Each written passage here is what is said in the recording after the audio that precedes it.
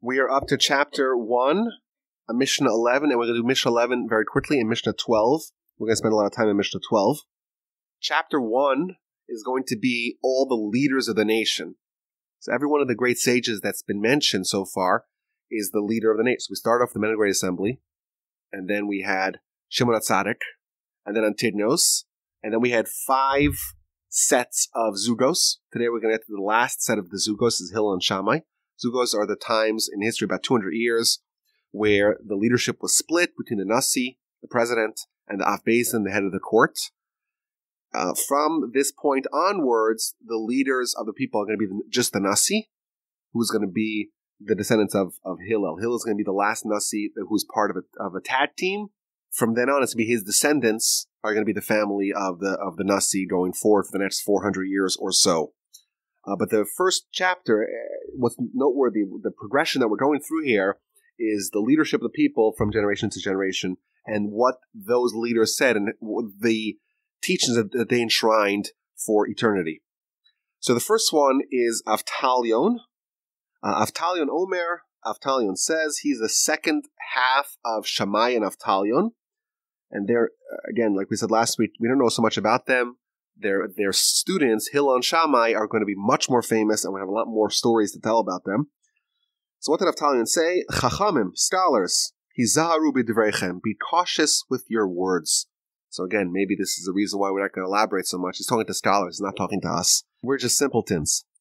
Be careful with your words. Why? Shema tachovu chovas galus. Perhaps you will incur the penalty of exile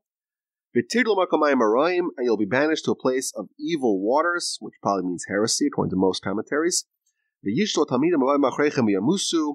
And drink from them will the disciples who follow you there, and they'll die. So what, what he's essentially telling us, be very careful what you say. Now what this means, all the commentaries give a little bit of a different angle to it.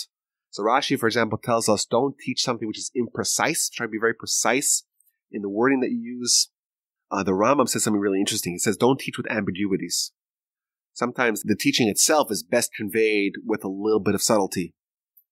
But if there's a heavy ambiguity that could be misinterpreted, it could lead your students down to the path of the evil waters of heresy. And he gives an example all the way back to the, I think it was the third Mishnah, we had Antigonus.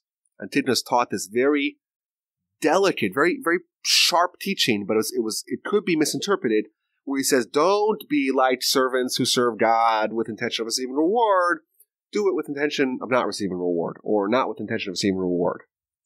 And that sent two of his students awry, because he one of his students, of course, was Tzadok, who was the founder of the Tzedokim, known as the Sadducees. Right, Tzadok became the founder of the Tzedokim, the Sadducees, and the other one became the Baitus, the founder of the Baitusim.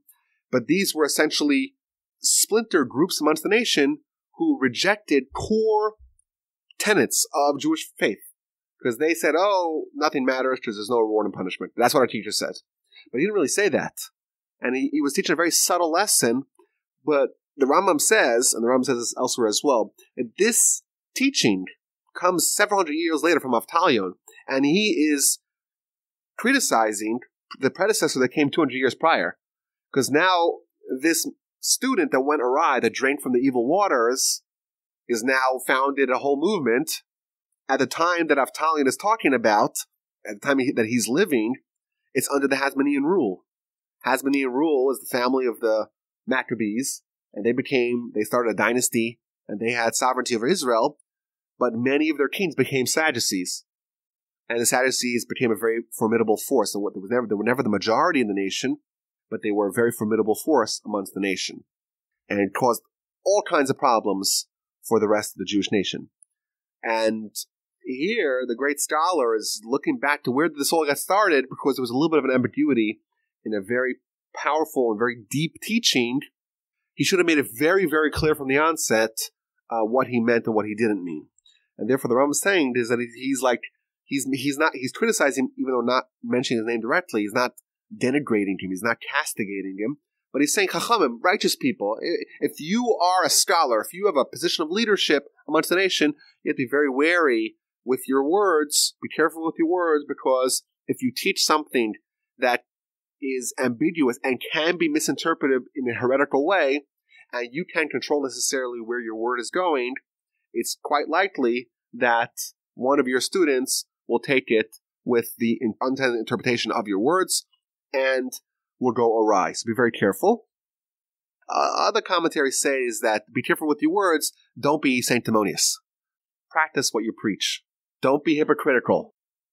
Be careful with your words because whatever you preach, make sure that you yourself are worthy of, the, of that teaching.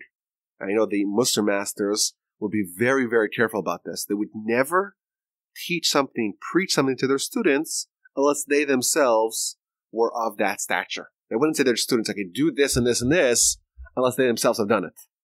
And that was something which was uh, across the board ubiquitous amongst the Mussar masters.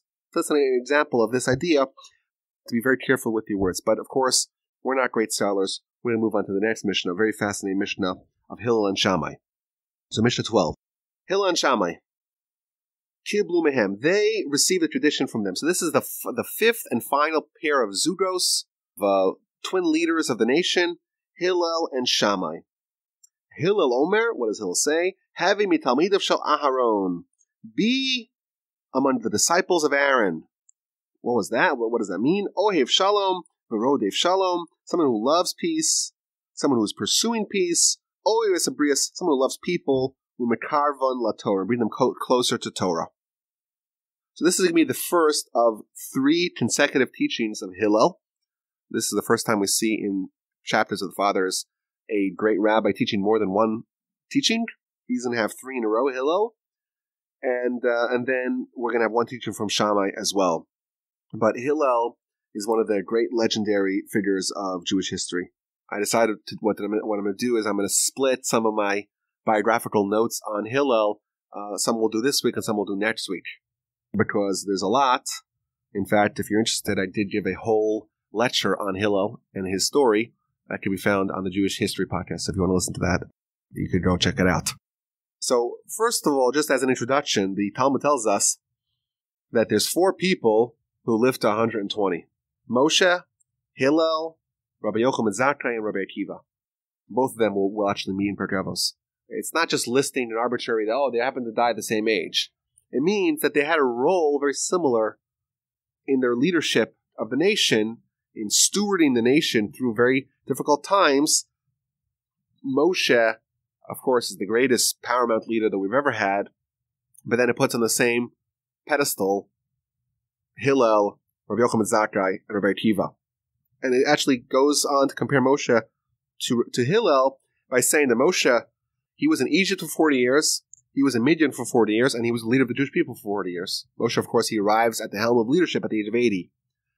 Similarly, Hillel, he lived in Babylon until he was 40, and then he studied for 40 years under Shammai and Avtalion, under his teachers, and he led the people for 40 years like Moshe from 80 to 120.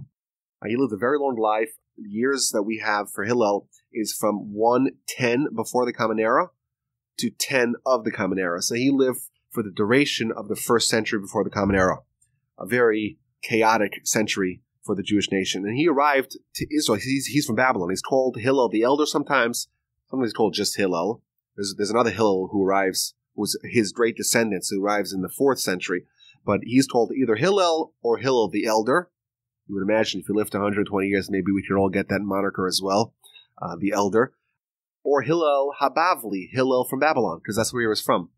At the time, there's uh, Jews living in Israel, of course, uh, but there's many, many Jews who are still in Babylon. They've been there ever since the first temple was destroyed. All the Jews moved to Babylon. Some Jews came back, but many Jews stayed there. And for the whole Second Temple era, there's two concurrent Jewish centers, one in Israel and one in Babylon. There's Jews living elsewhere as well, but the two centers of Jewish life are in Israel and Babylon.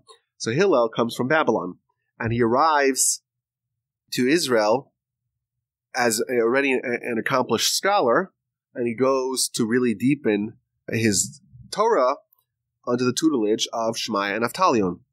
And he was someone who was dedication to Torah is uh, a superlative. Uh, he was exceptionally poor. He had he lived in, under grinding poverty. And the one story the Talmud tells us about about this really shows us uh, a his poverty, and b his commitment to Torah. And the way the Talmud frames it is also interesting. The Talmud says is that uh, in the future we're all going to have to give our accounting and reckoning before God, and everyone's going to have all the excuses in the world. One guy's going to say, "I was so rich." I was so busy with all my investments and all my real estate, I, I couldn't study Torah. And the next one I say, I was so poor, I couldn't feed my family. I had to do backbreaking labor. How could I study Torah? And the third guy is going to say, I was so handsome and I was just consumed with my own desires, I, I couldn't study Torah. And the Talmud says is that each one of these people, they're going to bring a counterexample. Someone was more handsome, more rich, or more poor than you, and they still found time to study Torah.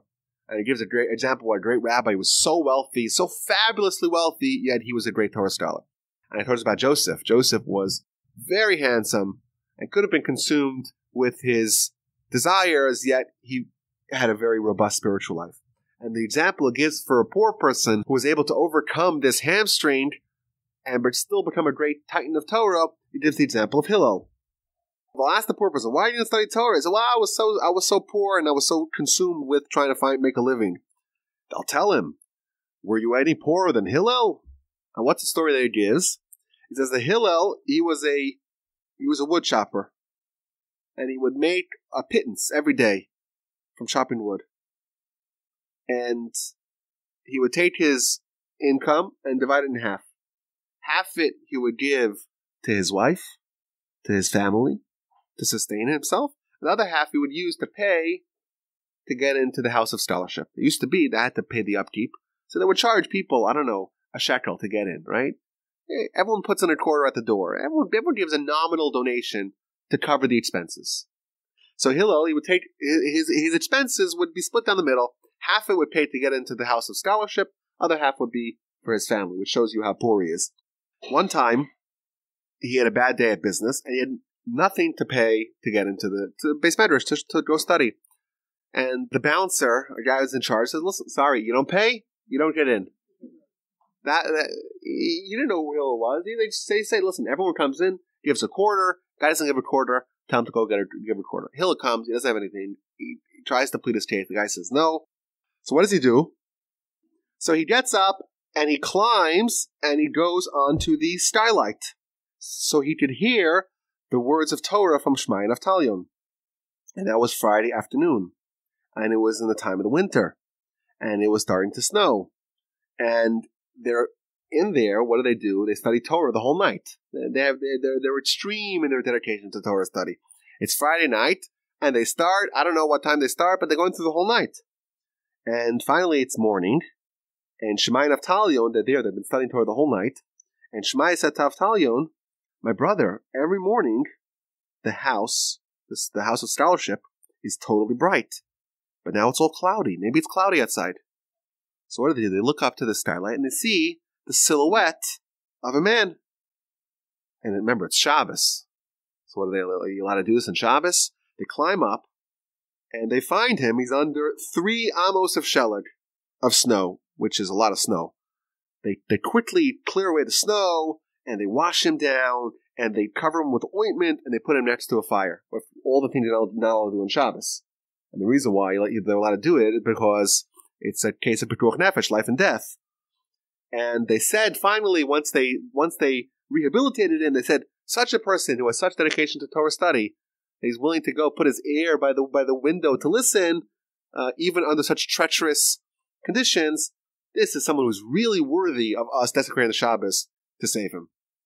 That's their introduction to Hillel. Under such poverty, under such conditions, uh, yet such commitment and zeal and tenacity for us, we'd say, listen, I don't have the money. Maybe I'll come back on Sunday. Uh, but to him, like this is life and death for him. He goes and, and, and wants to, uh, to, to study Torah, uh, which shows us just a little bit of, of his character. Now, when Shemai and Talia they, they pass, uh, goes back to Babylon. And uh, he's going to return to Israel many years later. And the land was under the uh, despotic rule of Herod at the time and he undertook a campaign to try to assassinate rabbis. The Talmud describes uh, it gives a list of several people who came from Babylon and brought back Torah to Israel. And it begins with Ezra. Ezra, of course, he came back. To, he was the one who led the mission back to Israel uh, from Babylon, and he brought back Torah to Israel. And it says Hillel, the Babylonian, he came and he brought back Torah and established it in Israel. It gives an example of three times in history, great leaders came from Babylon to Israel to bring back Torah. And the reason why is because of everything that happened uh, with, with Herod. So just a little bit of the backstory here. In the year uh, 63, I believe it was, uh, Pompey is brought in to navigate um, a dispute between two heirs to the Hasmonean throne. And because he was invited in, uh, and the Rome was about to reach its uh, peak, they just take control. And they start ruling it as they always do by proxy. So he hires uh, Antipater, who was an Idumean, wasn't even Jewish necessarily. Uh, he becomes the, Rome, the Roman procurator of the land of Judea. And his son, uh, young Herod, he appoints him the governor of the Galilee in the year 47 before the Common Era. Herod is about 25 years old. And the Galilee is a little bit of a, of a flashpoint for extremism, for patriotism. And it always was during that, uh, during that time in history. And the people, you know, they've had now 100 years of Jewish rule, albeit problematic Jewish rule. The Hasmoneans weren't that great, but still, they were Jews. And now the Romans come. These uncircumcised pagans are coming now and they're taking control of the land. And there was all kinds of riots and rebellions that were mounted in the Galilee. And they would resist Roman rule. And they launched all these underground campaigns trying to unseat the Romans. And they refused to pay taxes. It was it was a hotbed of resistance. And now Herod comes, and he is now the the governor of the Galilee, and he's going to make order. So he finds the leader of this movement, his name was Chizkiyahu the Galilean, and he arrests him, and he arrests all his patriots with him, and without any trial, without any nothing, he just executes them. And that's going to be a pattern through Herod's life. And Herod, of course, is uh, nominally Jewish. At least he thinks he's Jewish. And uh, the Romans have control, but uh, you know this is not this is not the way they even the Romans uh, behave. They turn to the Jewish High Court, which is still in session, there's still a Jewish infrastructure, and they say we're convening a special court and we're calling Herod to court. And Herod comes to court, and he dresses like a king. He's wearing these big flowing purple robes, and he has a whole garrison of soldiers with him. And he comes and says, Okay, show me what you got. And no one's ever done that. You don't come to court like that. And all the leaders, all the heads of the Sanhedrin, they all put their heads down. I'm not starting up with this guy. I don't want to and he was already a madman then. Herod was was renowned for his uh, barbaric cruelty from a very young age, and the way it's described. In fact, uh, Josephus describes what happened over here. Every all the sages of the of the of the Sanhedrin are there scared to open their mouths, and there's one man there was not scared. His name is Shammai. Shammai was fearless. We'll see this. We'll see when we, we learn more about Shammai. We'll see this this characteristic. And he gets up and he gives a speech the way it is uh, told in Josephus is as follows Members of the court and the king, neither I nor you have ever seen an accused man appear before a court of law in such a manner. All the accused have come before the court have done so with trepidation and fear, dressed in black. But Herod, who is accused of mass murder and is summoned here as a major criminal, has come before us dressed in purple, his hair festively groomed and escorted by soldiers, to threaten us with death if we were to convict him. I don't blame Herod. He wants to maintain his life rather than the law.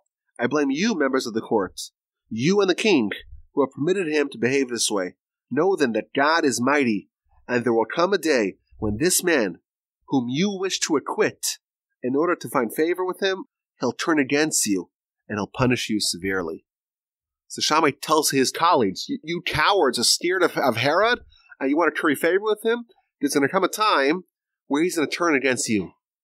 That was his speech. In the end, Herod escapes. He goes to Damascus, and about 10 years later, his father's dead, and he is appointed the king of Judea by the Roman Senate.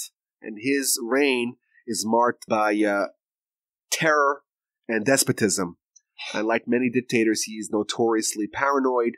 He's sure that everyone's a spy and everyone's trying to bring about his downfall, and he's ruthlessly stamping out any hint of rebellion. The whole Hasmonean dynasty, which seems to be a threat because they're the last line of uh, of kingdom of monarchs amongst the nation, he kills them all. And one of them happens to be his wife. His wife Miriam, he wanted to bolster his claim, so he married her. But she's a Hasmonean, so he killed her. He killed his own kids. Wants to get rid of any hint of the Hasmoneans, just to uh, deepen his claim to the throne and, and to remove any potential any potential dissidents. Herod undertakes a campaign to murder many rabbis. Uh, he's burning some of them alive. Uh, he even gouged out the eyes of another one. Talmud tells us a horrific story. He's gouging out eyes of other great rabbis. And many of the people who were sitting on this on a, previously, you know, decades prior, sitting on the Sanhedrin, judging him and uh, were too scared of, of calling him out, they themselves were subject to his evil and wickedness.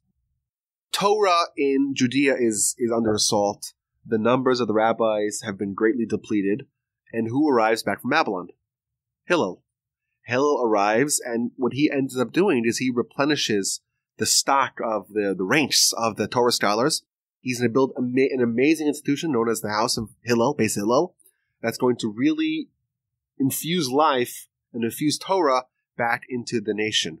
And there's an amazing story of how he was appointed the Nasi. Remember, he's a Babylonian. He's a direct descendant of King David, but he's not part of the family. After Sh- Shemaiah Avtalion died, there was a family that became the family of the Nasi. They were known as the Bnei Beseira. And the story goes that uh, Hillel comes back.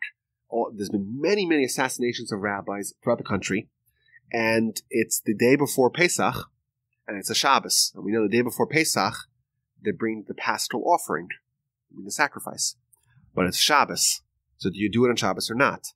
The Talmud tells a story. There were so few rabbis in town, no one knew the answer.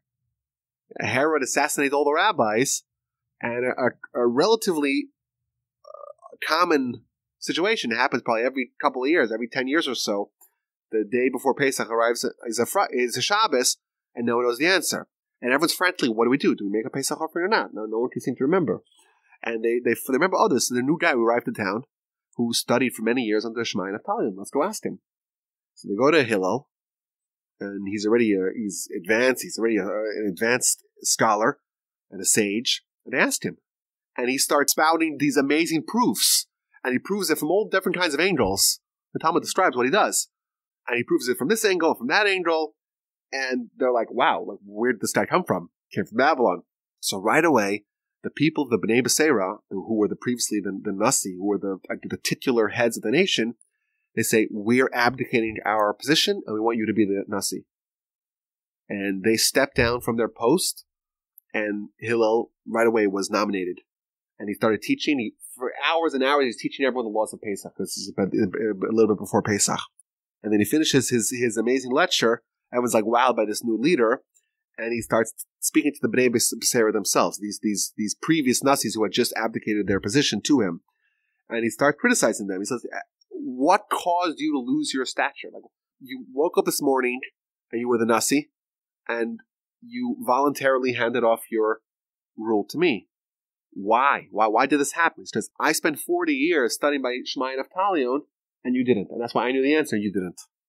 And these Bnei Beseira, incidentally, the Talmud speaks about them very highly, even though they weren't great Torah scholars. But because they forfeited their position, their political prestige, to Hillel, because he was a great, greater Torah scholar than them, they voluntarily gave up their crown in this world, says the Talmud, and therefore they earned their crown in the next world.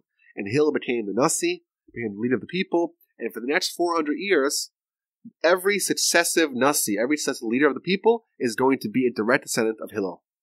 And the rest of the leaders that we're going to see in the first chapter of Pirkei Avos are all going to be direct descendants of Hillel. For example, Rabbi Judah the Prince, who's going to born about 130 years after Hillel dies, is going to be a direct descendant of Hillel, son of a son of a son of a son. I think six generations. But all the intervening presidents of the people and those who go beyond uh, for the duration of the presidency of the Nasius of the, of of, the, of the nation, it's going to be direct descendants of Hillel. And he begins to bolster the reigns of the rabbis.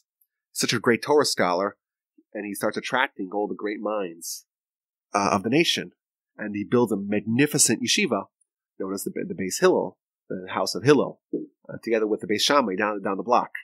And the reason why, incidentally, the reason why Hillel and Shammai are not together, when, when Hillel himself is going to listen in on the lecture, it's Shmai and Avtalion together. They're both giving the lecture together. The, the two leaders of the people are in the same room. And the reason why is because during the times of Shmai and Avtalion, there wasn't as much of a backlash against the rabbis. And therefore, all the previous Zugos were always together. Whereas now, Hillel's the Nasi, Shammai's the Av Beis Din, but they're split into two. There's the Beis Shammai and the Beis Hillel. The two houses of scholars, two yeshiv, two institutions are going to be split now because the rabbis have to go a little bit underground. They have to be a little bit low key because Herod just finished a whole terror campaign against rabbis. They want to keep it hush hush. Split them up, distribute the scholars in various different places. For the next about 100 years or so, there's going to be two competing houses, House of Shammai, House of Hillel, but progressively the power is going to go to the House of Hillel, and then after the temple is destroyed, uh, in the year 70, according to most opinions, for the next 20 years or so, all the arguments of the House and Hillel and Shammai, they're going to be brought back, brought back together, and everything's going to be clarified. And, and they're going to try to reach halacha. What's the bottom line? Well, what's the halacha? Uh, and that's to be like a convergence. So like the, there's going to be a little bit of a splintering, even though they were they were together still, but there was two schools of thought, and then it's going to be consolidated uh, over the next uh, the 20 years after the temple is destroyed. Anyhow, so what is Hillel's teaching? He's telling us to be students of Aaron who love peace, who pursue peace, who love people and bring close to Torah. Whenever there was a dispute, Aaron would go to each side of the dispute and tell them, like, I, I spoke to your counterpart, to your uh, enemy, and he told me, he's like, ah, I just wish I could reconcile. I would tell it to each side. And each side would think, oh my gosh, they, they really want to reconcile. And then when they would meet, like, oh, how you doing? And they, they, they would all become become friends again. And uh, in fact, the Torah, actually, Rashi brings this down. The Torah stresses, if you look at the death of Aaron in the book of Numbers versus the death of Moshe in the book of Deuteronomy, the way it describes the mourning process for them is different. For Aaron, it says, Kol Beis Yisrael, the entire nation mourned men, women, because Aaron was man of peace. What, what his his role was. Moshe was the leader. Moshe was one who taught Torah. Moshe was the one who was tough. He had to be the leader. Aaron was the one. He was the he played the role of peacemaker, and therefore he was always involved in making sure that there's peace between husband and wife, between man and, and, and their coworker and their colleagues. That's what he did. Now, there's an obvious question people maybe could ask: is if it's not true that Aaron spoke to someone's enemy and they never made this confession. Obviously, it doesn't happen. Yet Aaron says it. So, what's the justification for him lying or making up a non truth uh, in order to promote peace? So, there's two answers given. One answer is that, yeah, generally speaking, peace trumps truth because truth is what's appropriate. That's what truth is. Truth is what is right. We see, even in Genesis, we see that God changes what literally happens. And God, of course, his signet is truth. Because that's what's truth. When Sarah, when she starts laughing at the fact she's going to have a baby, she says her husband's so old. Ah, he can't have any kids. He's so old. But when he, God repeats that to Abraham, God said, God changes it. God says, no, no, no. When, when he changes the story that Sarah says, as if Sarah said about herself, I'm so old. How can I have any kids? And that's an example of God changing what actually happened to promote peace between husband and wife. Now, is that necessarily going against truth? No, that that's truth. Truth is what's appropriate. Truth is what's correct. And in that instance, saying something that didn't literally happen is correct because it's what, it's what promotes peace. Uh, that said, I saw one of the other commentaries points out so this is a little bit tricky because this could be this could be abused. He writes he, he compares it to someone taking venom and using it as an antidote, as a remedy, as a medicine. Sometimes you have venom that could be used as, as a medicine. Okay, but you have to be very, very careful what you do with it. It's like, you know, we take uh, the uh, maybe a modern example of this to be like, let's inject a little bit of, I don't know, mumps into a little baby so that way they're inoculated from mumps, uh, which is, you have to be very careful how you do that. This can be messed up very quickly. So he says, yes, generally speaking, this is not for everyone. But for someone on the caliber of Aaron, or what we're encouraged to be, try to become and be very be very careful with it, it would be appropriate under the right circumstances. So yes, uh, this is not necessarily counteracting truth. Now, the Rambam adds an interesting point here. He says not only is he bringing peace, but he's bringing them close to Torah. So how would Aaron bring people close to Torah? He says if Aaron would find about about someone who was evil, or he had bad behavior or he had sins. So what would Aaron do? How would Aaron bring someone? What was this peaceful method of bringing people close to Torah? He said Aaron would would reach out to them in peace and would would befriend them and would become close to them and would talk to them and speak to them and, and really deepen the relationship with them. And that person will be so ashamed because he's like, I can't believe it. If Aaron knew what's in my heart and how I'm really, I really like. Aaron would be so embarrassed of me and Aaron would drop me like a hot potato. And he wouldn't look at me, Aaron, if he actually knew what was, what was within me. And, and look at Aaron treats me like I'm a, such a righteous person. He, talks to me like, like we're peers. I don't know what to do. I'm so, I'm so consumed with guilt that I'm really not the person that Aaron thinks I am. And therefore, I'm going to try to make myself as, as much of a person who's worthy of the friendship and the camaraderie of Aaron as possible. And that way, Aaron would use this uh, subterfuge to actually get a person themselves to change and to approach the proper behavior. I think I think this could be applied even for us, um, and I think especially as parents, uh, we could really use this to our advantage. What Aaron is teaching us over here is is that people aspire to be what other people consider them to be already, which is a very deep insight in, in, in human psychology. If you tell a child you're such a bad kid, you always lie, right? You're telling them you're a liar. You're telling a child they're a liar. Okay, that they, they probably will be a liar. As opposed to, let's say you catch the kid in a lie. My parents used to always do this trick. I think it's very, I think it's brilliant. But I think what's what Aaron did. Kids don't realize how much smarter their parents are than them. They assume they can fool them like all the time. So the kid lies. The parents know the kid's lie. So what do you do? Our instinct is to say to prove to them, like a like a, like a prosecutor would to a jury, to prove to them, I can prove exactly, and I have evidence. I know that what Aaron here is doing is the opposite. He's not pointing out the flaws. He's pointing out the qualities that the person doesn't even have. He's saying, "What a, what an amazing guy! I want to befriend you. I want to talk to you." He's pointing out the stature and the behavior and the character the person doesn't not actually have, but that causes the person to feel such guilt to actually achieve that. So what the parent ought to do when they find the kid lying is saying, I'm so happy you told me the truth. It means so much to me to know that I can rely on you. I, I really trust you with everything. And, and, and the kid feels, oh, I, I, can't believe I did that to them. Like I, and they believe me and they trust me even though I didn't. And of course, you know, it's, it's, it's all a game. It's not really a game, but it's, yeah. it's a tactic. Maybe this may not, may not work, but you tell the kid you're a liar. You're telling, you're reinforcing what they actually are and you're you're causing them to say, okay, they're a liar. You, they actually lied, and you told them they're a liar.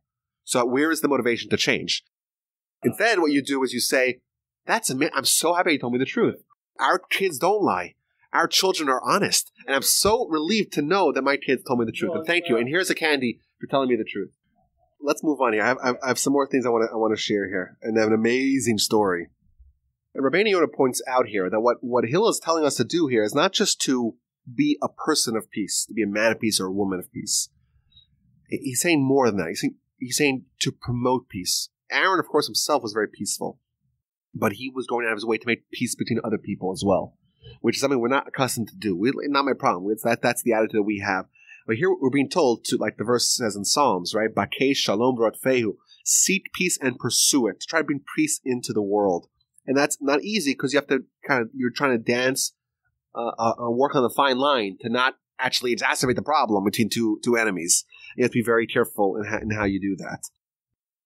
There's some more quick ideas here.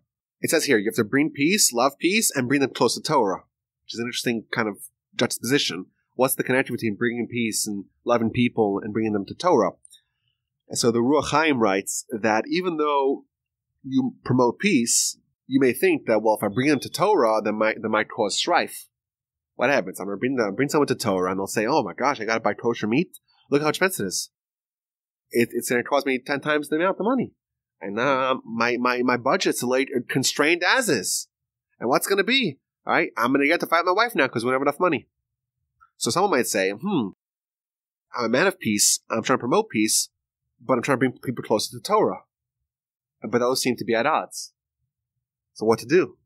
So what what the Ruach tells us is that it's, it's an amazing insight here. You may think, or they may think erroneously, that coming close to Torah is going to cause them to go away from peace. So you can have one, one or the other, either peace or Torah. That's what people may think. You have to make a trade off. Here, what the Mishnah is telling us is not, not true. You have to love peace, pursue peace, love people, and bring close to Torah. And all of these are possible because they're all really one and the same because the Torah, right? It's it's the it's the will of God, the word of God, the ways of God, and that of course is the ultimate source of peace. And people may think that coming close to Torah is going to bring you away from peace, but it's not true. Another important insight. And also, it's interesting. It doesn't. It, it says doesn't say teach them Torah. It says bring, bring them near to Torah, which also shows us that you can't teach everyone Torah necessarily. Someone has to learn Torah on their own, but we have to make Torah accessible to people. Bring them near to Torah. And whether they choose to embrace it or how much they choose to embrace it, of course, that's their decision. But our objective, if following Hillel's advice here, being a disciple of Aaron, is to bring them opportunities to be near to Torah, to, to bring them close, to give them opportunities at least to embrace Torah as much as they can. Incidentally, another interesting insight here is that what is the impetus for teaching people Torah? What does it say? Love people and bring them close to Torah. The reason why we have to reach out to our brethren and try to teach them Torah is because we love them. And Torah is the best thing that they could possibly have in their lives. And we want to give it to them. And if, if that's the motivation, because you love people and you just want to help them, because Torah is amazing, and you want to just share it because you want to share with people that you like and you love, then your conveyance of that information will be effective. If someone says, I want to teach Torah because I want to give people rules, I'd love to make them miserable. And I can find ways, oh, you're doing this wrong, you're doing that wrong, you're doing that wrong.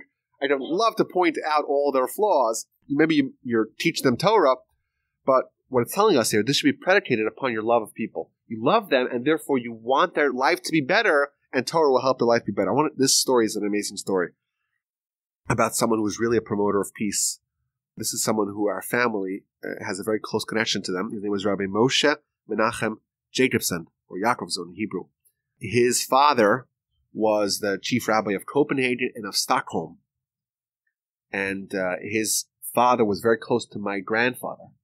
My grandfather spent uh, the war years in Stockholm, in Sweden, and he worked hand in hand with Rabbi Jacobson in trying to rescue and save as many people as they could. And they together they founded uh, the school, the famous school in in Sweden for Jewish refugees.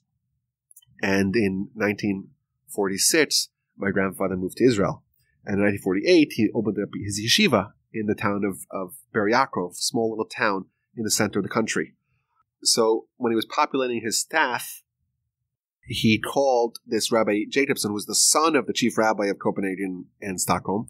His son was young at the time, and he became part of the staff of the yeshiva. And then he left the yeshiva and became the rabbi of the town. So in 1959, he became the rabbi of the town of Ber and he was the rabbi of the town of Ber till his death in 2000. And then his son became his successor. The current rabbi of the town is his oldest son. My father grew up in this town. So he grew up with these people. He told me last night, I speak to him to verify the story, he told me that this was his role model. This person was such, such an amazing and inspiring person this is somebody he wanted to be like. Such personality, but such joy of life. Anyhow, so he had a grandchild, his daughter, his daughter Rivka, Rebecca. She had a, a child, and the child died in infancy. So there were two people in town who were enemies. They've been family feuds. They've been fighting for a long, long time. And Rabbi Jacobson decided to use this opportunity to bring peace. So he called person A, person B, I want you to come to the rabbi's house. The rabbi summons you to his house.